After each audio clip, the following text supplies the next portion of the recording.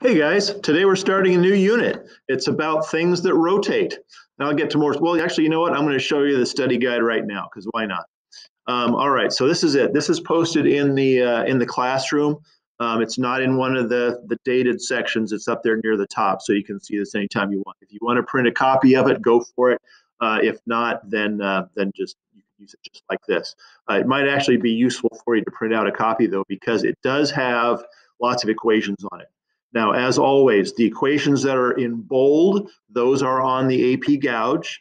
And the ones that are not in bold, those are ones that appear in the textbooks but are not on the AP gouge.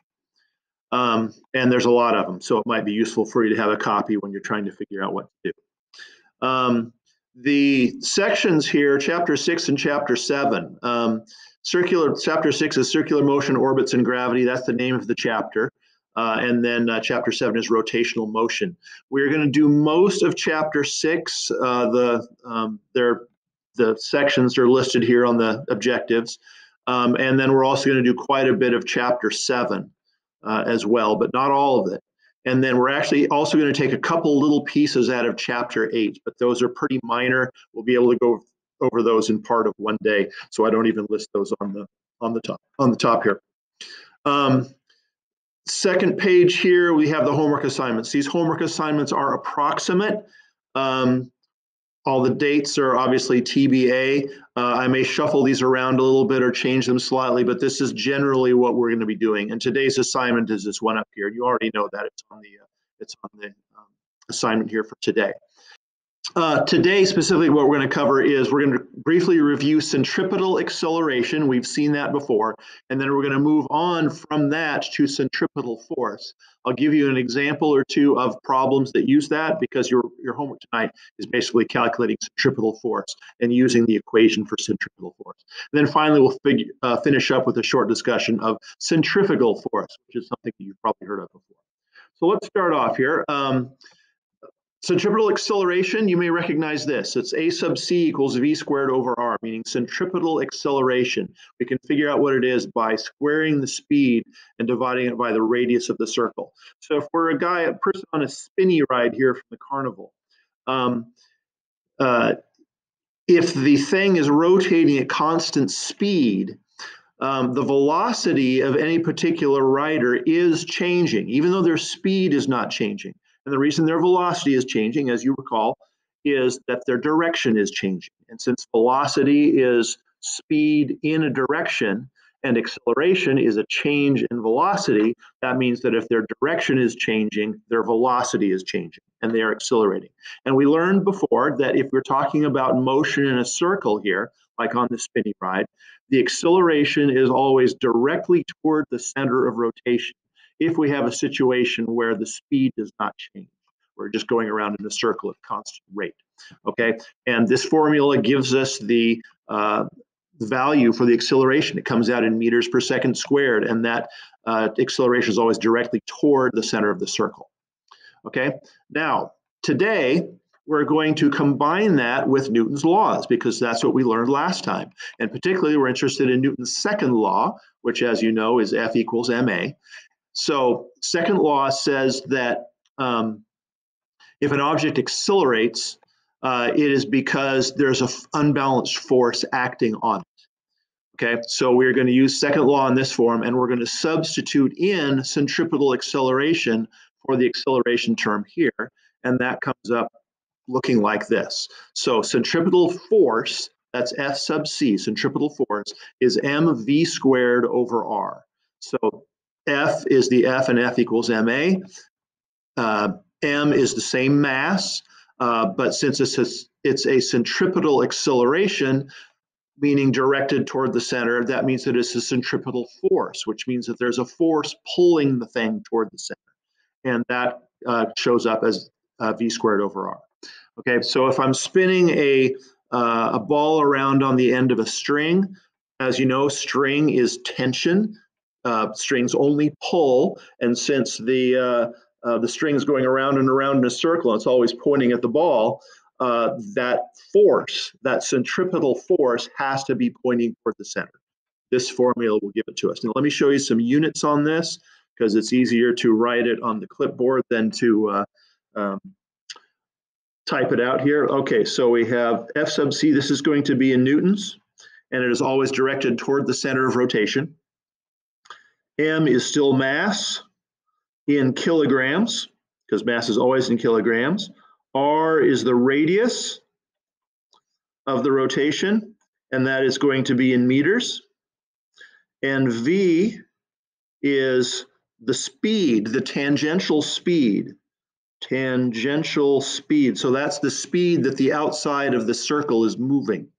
Um, if we have a rotating object, like as we are using the spinny ride before, and it's rotating this direction, the tangential speed would be the speed that our object that we're interested in is moving in that direction. So when it's at the top, it's moving to the right. When it's over here, it's moving straight down. When it's over here, it's moving up that direction. But it's always got some speed in meters per second the tangential speed. Okay, that is in meters per second, and we square that, so that's going to be squared. Okay, now if we analyze the units on this, we wind up with kilograms times meters squared per second squared, and then we're dividing that by meters times one over meters. That's the, the radius part of this. Now, one of these meters cancels out, and that leaves us with kilogram meters per second squared, kilogram meters per second squared, which you probably recognize is newtons. So they, the units do work out on this. Um, as always, it's useful sometimes to carry the units through your calculations so you can be sure you've arrived at the right place and you're dividing where you're supposed to be dividing and multiplying where you're supposed to be multiplying. Okay, um, let's see. So that's, uh, yeah, that's uh, centripetal force. Force always acting toward the center of rotation. Now let's run through one, uh, one example problem here. Uh, we're going to use the same spinny ride. And we're going to say that the radius of the ride is five meters, okay? Um, we're going to say it's spinning at 14 RPM, meaning it goes around 14 times every minute.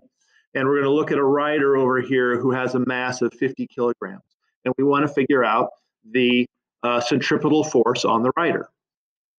So let's go back to the clipboard. So 50 kilogram rider, this ride's going around 14 RPM and the radius of the ride is five meters and it's going around something like this. Okay, so the equation that we're going to use is going to be the centripetal force uh, equation, which is F sub C equals mv squared over r. Uh, and some of these numbers were given and some of them were not. So we know uh, the mass, we've got that one. We know the radius of the ride itself, but we don't know the tangential speed. So we're to do a little sidetrack here to figure out what the tangential speed is of the rider as he's, as he's going around. Okay, so uh, speed, as you know, is distance divided by time. So what we need to figure out is how far they go in some convenient period of time. And all we know is that it's 14 RPM, goes around 14 times in one minute, and that the radius is five meters. So the way we're going to do this is um, uh, we're going to figure out the distance, which is going to be once around. So once around a circle is 2 times pi times the radius, which is 5 meters okay? Because pi times the diameter is the circumference of a circle. And then we know it's going around 14 times in one minute. So we're going to multiply that by 14. And that, that happens in one minute. And we usually use seconds in physics. So we're going to say 60 seconds. Okay. All right. Now, when we multiply all this out, Let's find a glare-free spot. This looks like a glare-free spot. 2 times pi times 5 times 14 equals divided by 60 equals. And we get 7.3 meters per second. Okay, that's our tangential speed is equal to v. So now we have what we need because we now we can start plugging stuff into mv squared over r. So F sub c is equal to the mass, which is 50 kilograms, times v, which is 7.3 meters per second, and we're going to square that whole thing. and we're going to divide it by the radius, which is five meters. All right, and when we do that, we get 50 times 7.3x squared equals divided by 5 equals, and we get 530 newtons. That's the force. All right. Now, that is the force that is pulling the rider, if we have a rider out here, that is pulling the rider toward the center of the ride. Um, if you are a person riding this ride, then uh, if you are the rider, then you're going to feel like you're lying on a, uh, a stretcher or something with 530 newtons of force basically pushing you against the wall. Um, and just roughly speaking, uh, if you were lying flat on the floor, your weight would be approximately 500 newtons. It'd be a little bit less than that because it's 9.8, but if we consider 10. So this is going to feel to you pretty much like you're lying on the ground, only you're lying against the floor. Now, most of the homework that you do, you're not going to have to do this thing here, okay? They're going to give you the speed for the most part, um, or they may give you the force and uh, have you find the speed, um, or maybe they'll give you both and have you find the, uh, maybe find the radius, uh, but they'll generally stick to just the variables that appear in this, in this formula here. Now, I did do this dance and show you this process because that's something we're going to need to be able to do for later problems in a couple homework assignments from now. Uh, when that time comes, I'm going to show you an easier way to do that, but again, that's for another time. Okay, let's finish up here by looking at centrifugal force. That's this one here. What about centrifugal force? You've all heard of it. Well, physicists uh, are irritated and annoyed by the uh, the concept of centrifugal force, and it makes our teeth itch when people talk about it. Even though there's a device called a centrifuge, which uses centrifugal force to separate like blood plasma into its different parts. Okay, um, the reason that physicists are uncomfortable with the idea of centrifugal force uh, is that it only exists as a reaction force when centripetal force exists. Okay? If the wall wasn't there and the thing was spinning, you'd go flying off in a straight line. That's what the first uh, Newton's first law says. An object in motion will remain in motion in a straight line until acted on by an outside force. And the fact that you're not moving in a straight line, the fact that you're forced to follow this circular path means that the wall is pushing on you. It's pushing on you toward the center. It is applying a centripetal force toward the center of the ride. Now, you feel that push. And third law says that for every action, there's an equal opposite reaction. Forces come in pairs. If the wall is pushing on you, you are pushing on the wall. And that you pushing on the wall, we perceive that as centrifugal force, but it only exists as a reaction force. It, you only experience it when the wall is pushing on you. Okay, so for this reason, we call centrifugal force a fictitious force. It never exists by itself. It's never an action force. What do I mean by that? When you get on this on the ride, if you do push yourself against the wall, the wall doesn't start spinning. The ride does not start spinning. Uh, the fact that you're pushing on the wall and, and simulating a centrifugal force doesn't cause a centripetal force to appear in response to your push. Likewise, if I have a ball on a string and I spin the string, there's tension in the string. That's a centripetal force. Uh, but the ball experiences that as a centrifugal force. It feels like something is pushing them away from the center. Um, but if I just hang the string there and I pull on the ball, um, it doesn't start spinning. Uh, the centripetal force does not appear as a reaction or a response to a, centri- a centrifugal force. Okay, a little long-winded, but that's what it is. Bottom line here, centrifugal force only exists as a reaction force. It never exists on its own. And for that reason, we call it a fictitious force. Okay, so that's it.